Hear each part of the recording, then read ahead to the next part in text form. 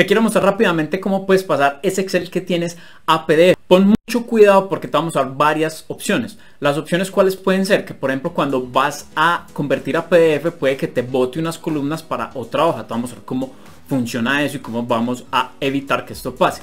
También puedes decir, bueno, es que tengo muchas hojas en el Excel y solamente quiero X, Y o Z hojas. Entonces también te vamos a ver cómo se hace esto. Pon mucho cuidado, sigue todo el tutorial completo para que veas todas las opciones que tienes. Bueno, supongamos que tenemos un Excel donde hay un montón de datos, donde hay por ejemplo otra hoja con una tabla dinámica, una hoja con gráfico, puedes tener pues obviamente muchas hojas como cualquier Excel, ¿cierto? Te vamos a mostrar una forma sencilla cómo se hace, pero te vamos a mostrar que hay que hacer un truco antes para que no vaya a pasar lo que te va a mostrar. Para pasar a PDF es tan sencillo como ir a archivo, vamos a darle guardar como y vamos a darle de una vez en examinar. Acá en examinar vas a buscar la ruta donde vas a guardar ese PDF.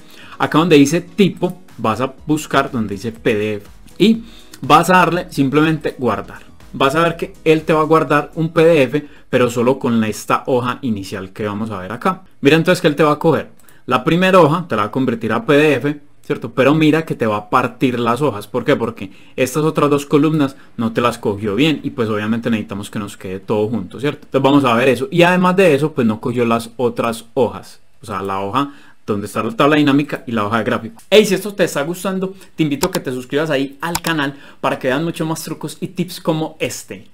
Listo, vamos a ver entonces qué vamos a hacer.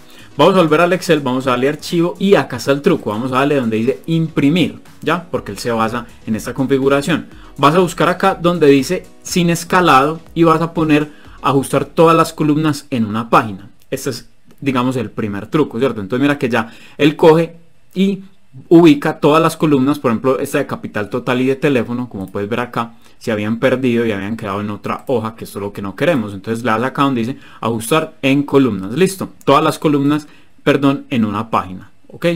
Después de que hagas eso, ahora sí van a venir aquí donde dice archivo guardar como, vuelves y le hacen examinar, listo, y vas a volver aquí donde dice tipo PDF, ok, Acá donde dice opciones, vamos a seleccionar acá. Mira que acá te dice que si la hoja activa, pues se refiere a la hoja en la cual estamos parados en ese Excel. Y nosotros queremos, bueno, si quieres que sea la hoja activa, entonces simplemente lo dejas así. Pero acá yo quiero que sea todo el libro, para que sea todas las hojas, listo. Y vamos a darle donde dice aceptar.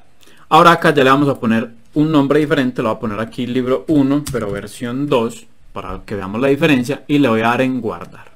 Mire que ya esta forma de guardar tenemos todas las columnas juntas. Ya por ejemplo esa columna de capital y teléfono no se me fueron para otra hoja. Y además de todo mira que ya tenemos otra hoja acá en el PDF con nuestra tabla dinámica y con este gráfico así como lo tenemos acá. Es decir, él creó una hoja aparte en el PDF por cada una de estas hojas que tenemos en nuestro Excel. Ahora supongamos que tú me dices, haz ah, que yo quiero solamente la hoja de inversionistas y esta hoja dinámica, es decir, solamente estas dos hojas. Este gráfico no lo quiero mostrar y esta otra hoja, digamos que acaba de poner de dinámica 2, tampoco la quiero mostrar en mi PDF. Entonces vienes acá gráfico, por ejemplo, o a la hoja pues que quieres que no aparezca, le das clic secundario y le das ocultar y aquí, por ejemplo, esta otra también vienes y la das ocultar. Entonces mira que ya te va a quedar solamente este y este.